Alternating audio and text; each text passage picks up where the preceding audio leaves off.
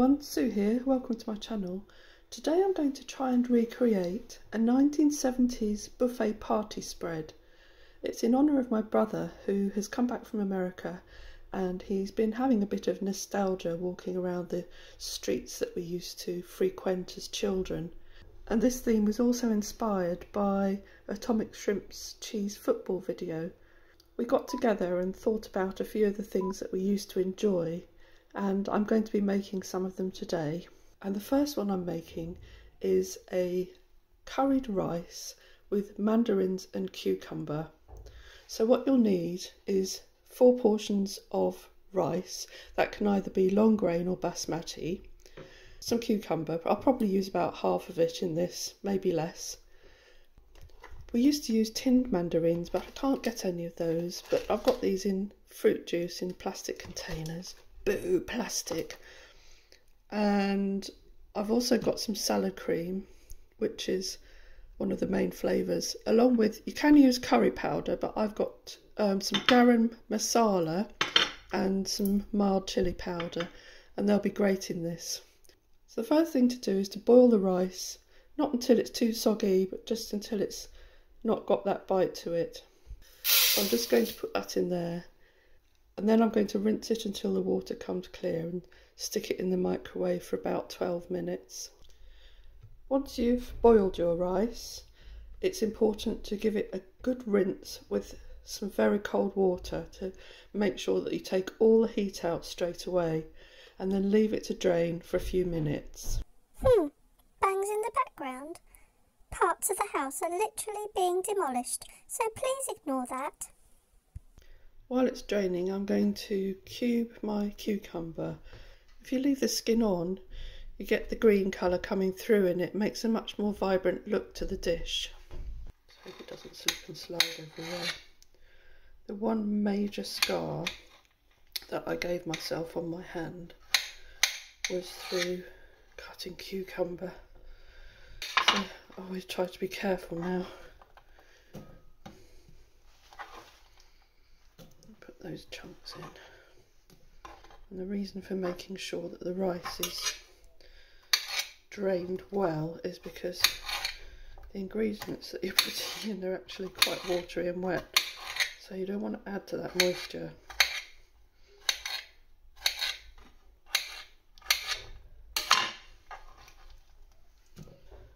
And I've also drained my mandarins off, so they're going to go in as well. I used three of those little containers. In my Christmas cracker, I got a lovely set of measuring spoons. So why not use them? I usually go for things like mini screwdrivers, but I thought, oh, these will be fine.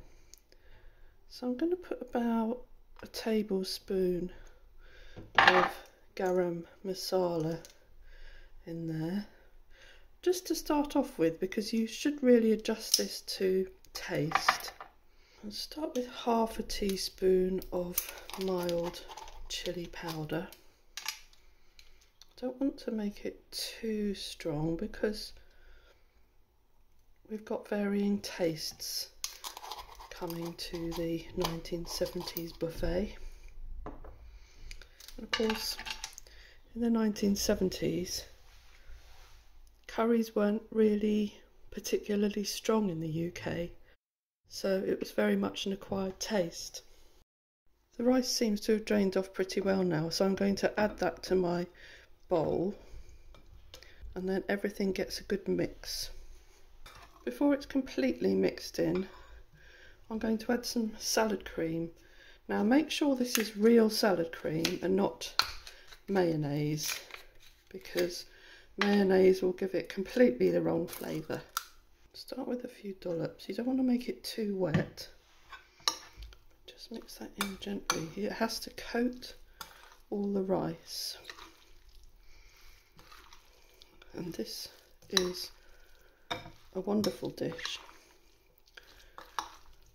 I used to make it for my own parties back in the 1980s and it was a great hangover recipe actually.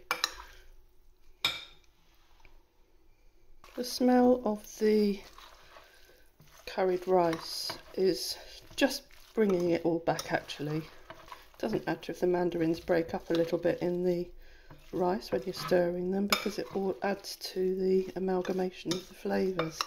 Now I'm just going to take a small taste and just see whether I've got what I want. Yes, that's lovely. In the 70s, we didn't really have the range of exotic vegetables that we get now in the supermarkets. So there were just some very basic ones that you could use, and I've cut some raw carrots up into batons for crudités. And I'm also going to use some celery in a couple of different ways.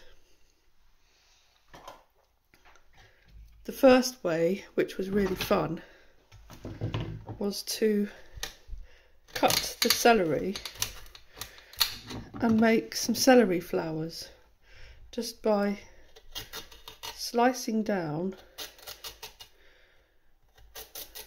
the celery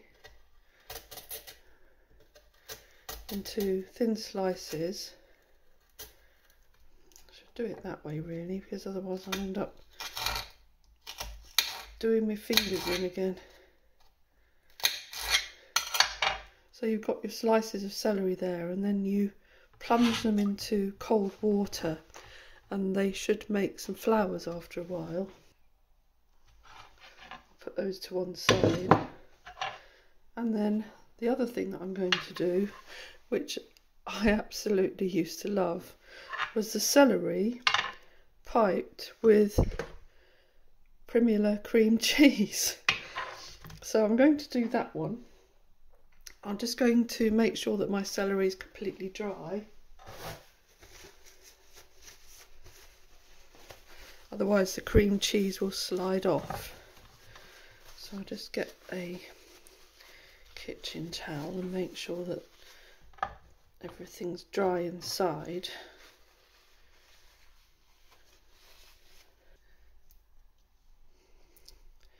Just pipe it into the centre like that and that was it. I think this Primula cheese is actually a little less stiff than the original one. It seems to not make that pretty pattern that you used to get. And it is cold. I'll put those back in the fridge before it melts over everything. And the other thing that we used to have was vol au vents. Now, I forgot to get some puff pastry, but I had a little bit left over from my Christmas lattice. So I made three little vol vents. And I'm just going to pipe those with some cream cheese as well.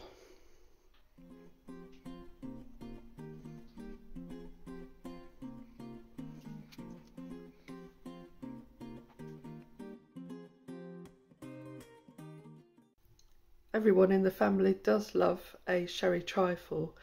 Now, I've made one of those before. This one isn't going to be a vegan one, but have a look at my vegan recipe if you want to see how I put one together.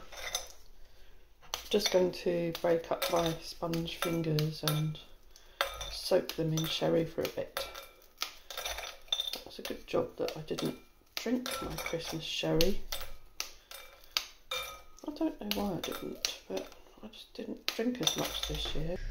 That's probably enough fingers, so I'm just going to soak that in sherry. Give it a good old glug. How about that then? I quite like it if there's just a little bit of sherry juice hanging around the bottom. Sherry juice. I say sherry juice, I mean sherry. Now I'm going to drain my fruit and add those in a layer on top of the sponge fingers. I've got mango and pineapple and papaya and I've added the last pot of the mandarins as well. I've also got some blueberries here and now I'm going to put the layer of custard on top. Just give that a spread out. and now I'm just going to whip my double cream and pop that in on top as well.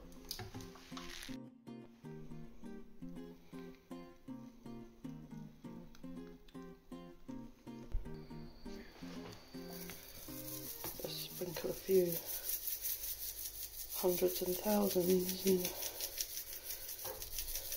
unicorns, sprinkles on top make it look really overdone and 1970s. There, that'll do.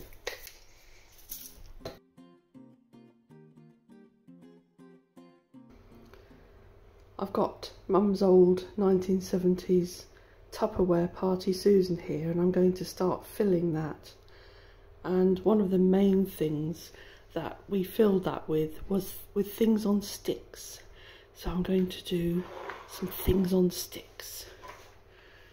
I've already cubed my cheddar. I've used mild cheddar because once you start getting into using mature cheddar it gets a bit too crumbly and you don't get those lovely cubed pieces. I've got some pineapple here and that goes really nicely with the cheese.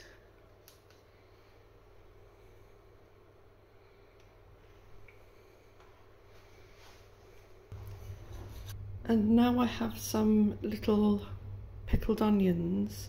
They have to be the sweet onions that go on top of the cheese.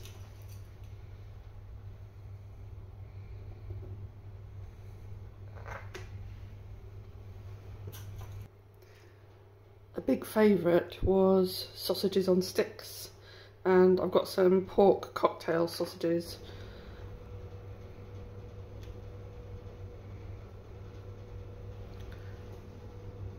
designated non-vegetarian zone.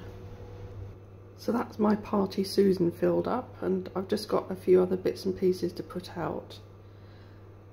The last thing that we did was to make some flowers with tomatoes and these are particularly huge tomatoes. I don't remember having anything quite as big in the 1970s but I'm just going to make a flower tomato to show you exactly what we did it was just a case of cutting zigzags in at the halfway point and through to the centre of the tomato.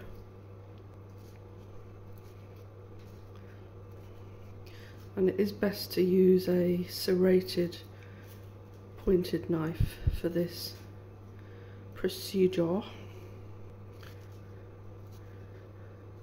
Now if you were really fancy you'd be putting a stuffing inside of these because they're quite big and they could be scooped out. Then all you do is twist and voila you have your tomato flowers. We didn't have spreadable butter in those days so we've got real hard butter. So here's my spread for the buffet. I've got French baguettes and my rice and my party Susan with lots of things on sticks, some twiglets, Babybels, some crisps here, my flower tomatoes and some salad cream. And who could forget the Mateus Rosé that we used to have. So I hope everybody's going to enjoy it. Cheers. Cheers to your journey. Yeah. Cheers. Yeah. Oh yeah, 70s wine. Classic. Oh yeah, Oh my very, goodness. very bubblegummy. Fizzy. Mm-hmm. The original rosé. We thought it was lovely. Well, this is very nostalgic, so. Absolutely. What's Yeah, you- the only thing you're missing is some Demis Roussos music. Oh, What- Demis what did you have? Roussos. Mm-hmm. Actually, I think I've got some cheese footballs. Have you? You Yeah. haven't, you? Have you? Oh, you've been holding out on us. Yeah, I think I've got Have some. you? I think I've got some Oh. cupboard. Ah. Fill one up and pass it round. You didn't get to say how much you wanted. You just ate what arrived in front of you. Yeah. Uh, well, I think overall that was pretty successful, except for this, the Primula cheese. I mean, what's the point of putting a flower shaped nozzle in there if the cheese doesn't actually hold its shape?